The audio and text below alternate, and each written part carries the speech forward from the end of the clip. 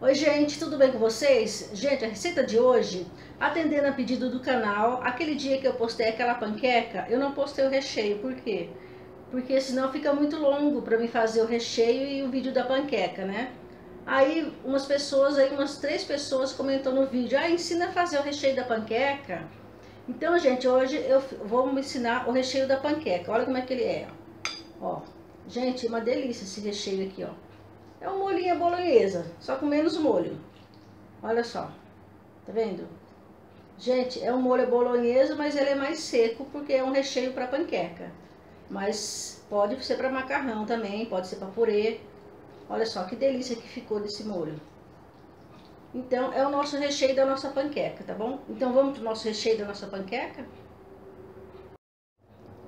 Gente, então vamos para nossa carne bolonhesa? O recheio da nossa panqueca que eu fiz e a nossa amiga do canal tá querendo que eu faça, ó. Essa aqui eu tô usando 450 gramas de, é, de paleta moída, 450 gramas. Olha, gente, eu paguei o preço dessa, o quilo dessa carne moída aqui, ó, dessa paleta, é paleta moída, tá 14,99, 15 reais, né, o quilo. Até que tá com um precinho bom, né? Então, vamos usar meio quilo de paleta moída. Aqui eu tenho alho e cebola. Aqui eu tenho uma cebola e três dentes de alho. Aqui eu vou usar azeitona. Aqui eu tenho molho de tomate. Aqui eu tenho salsinha. Tá vendo? Não é tudo que eu vou usar não, gente. Tá? Primeiro, gente, olha, eu gosto de fazer a minha carne. Eu vou falar pra vocês como... Primeiro eu gosto de fazer a carne... Não é, eu não faço a carne moída, gente, assim eu faço de um jeito diferente, vocês vão ver como é que eu faço, tá? Para depois acrescentar molho. Então me acompanhe. Gente, olha aqui. Olha, eu não tenho nada na panela, eu não tenho óleo, não tenho nada. Então eu gosto de começar fazendo carne moída assim, quer ver? Eu pego a carne moída, eu frito ela sem nada, tá? Pra deixar ela soltinha. Depois que ela ficar soltinha, Aí que eu vou fazer, vou colocar tempero. Bom? Eu vou fritando ela aqui, ó. Sem nada, tá? Ó. Então a gente vai fritando ela sem nada. Eu gosto de fazer assim com carne moída, gente. Eu dou uma fritadinha nela sem nada, a hora que ela estiver fritinha, soltinha. Aí que eu frito tempero, sabe? E acrescento o tempero, vou acrescentar um molho. Mas primeiro é assim que eu gosto de fazer. E também, o que, que eu faço? Eu faço assim também e congelo ela sem nada. Sabe, fritinha, sem nada. Aí quando eu quero, é só descongelar. E aí eu faço um tempero, um molho e jogo ela, deixo, termino no molho. Eu acho mais fácil congelar ela assim, sabe? A não ser que a gente congela ela crua quando a gente quer fazer um quibe, por exemplo. Mas eu prefiro congelar ela já desse jeito. Eu vou mostrar pra vocês a hora que for o ponto que eu vou parar, tá bom? Agora eu vou tirar o caroço daquela azeitona. Tá vendo, gente? Olha. Ela, ela vai ficar soltinha, ó. Porque eu não gosto de carne moída, gente com, com pelota não, sabe? Então a gente fazendo esse processo aqui, ó, ela fica soltinha e é até mais rápido para fazer. Ó, tá vendo? Ela tá soltinha.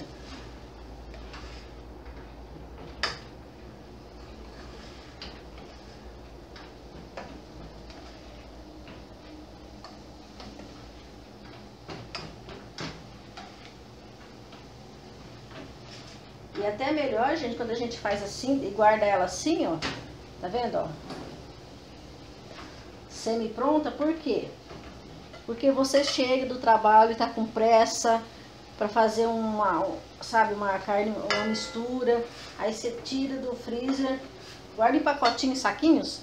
Aí você tira, já frita os temperos, já joga congelada mesmo, sabe? Abaixa o fogo, vai mexendo, descongela rapidinho. Nossa, é muito prático. Eu gosto muito de deixar ela assim, de guardar ela desse jeito. Ó, tá vendo? Não tem água, já secou todinha a água que ela solta quando a gente faz ela, né? Ó, tá sequinha. Agora, vou mostrar de pertinho pra vocês verem. Essa panela aqui é, ó, tá vendo, ó? Não tem água, tá soltinha. Assim que eu gosto. Então, nesse ponto aqui, vocês podem congelar. Deixa esfriar. Então, vamos terminar o nosso molho, né? Agora eu vou tirar lá daqui. Olha, já dei uma lavada na panela. Olha. Agora eu vou colocar mais, mais ou menos umas duas colheres de sopa de óleo.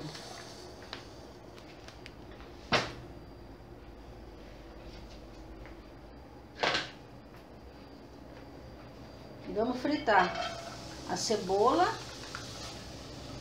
e o alho, tá? Deixando dar uma douradinha aqui, depois a gente acrescentar a carne. Vamos acrescentar nossa carne que já tá, olha só que bonita que tá essa carne, tá vendo, ó? Soltinha, né? Já dourou os temperos, vamos pôr a carne.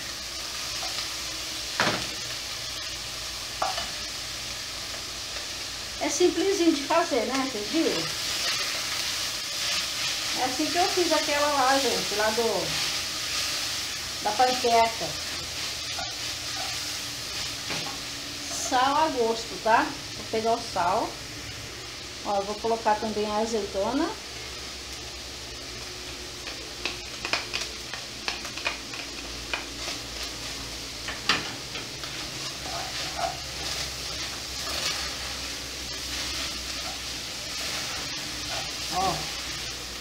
vendo? Olha só. Abaixar o fogo. Olha que delícia de carne, gente. Deixa vocês mais perto. Olha só, tá vendo? Ó. Agora eu vou pôr o molho de tomate. Ó, uma xícara de molho tô usando. Se vocês quiserem for fazer para macarrão, vocês podem colocar mais uma xícara de molho, tá bom? Eu não vou colocar porque esse aqui é que nem aquele recheio da panqueca, lembra? Vou fazer mais panqueca hoje, então eu tô fazendo o recheio da panqueca daquele dia. Ó, passo uma aguinha pra gente aproveitar o que sobrou aqui, tá? Ó, mas é um pouquinho, ó, só pra dar, ó, tá vendo? A gente aproveitar. Olha, agora é só tampar, deixar uns essa tampinha aqui é da outra panela, mas vai essa mesmo. Agora tá... Deixa aqui uns dois, dois, três minutinhos, gente, já tá pronta a nossa carne. Nosso recheio de panqueca, tá bom? Ó, já tá pronto. Ah, outra coisa, se vocês quiserem pôr pimenta, gente, vocês podem pôr. Agora vou pôr, ó, cheiro verde, ó. Vou pôr duas colheres de cheiro verde. É só salsinha essa aqui, tá? Aquela salsinha também, gente, eu congelo. Então eu pico tudo, a salsinha e congelo. Aquela ali eu vou congelar. Ó, misturou isso aqui, ó. Gente, esse é o meu recheio de panqueca. Tá vendo? Se vocês quiserem fazer para macarrão, coloque mais molho, tá? Porque o meu fica assim. Porque esse aqui é um recheio, não, não vou pôr muito molho, entendeu? É isso, gente. Deixa eu colocar numa outra vasilha. Ó, gente, agora eu vou pôr aqui, ó, carne. Olha só. Delícia, hein? Olha, gente, então essa aqui, ó, é a minha, é o meu recheio de panqueca, tá vendo? Como é facinho de fazer. Muito fácil, né? Bom, gente, então espero que vocês tenham gostado. Quem pediu aí, espero que você tenha gostado, tá bom? Se gostou, dê um joinha. Se não for inscrito no canal e gostou, se inscreva no canal. Bom, gente, então até a próxima. Muito obrigado. Não esqueça de ativar o sininho para receber as notificações dos novos vídeos, tá bom? Muito obrigado.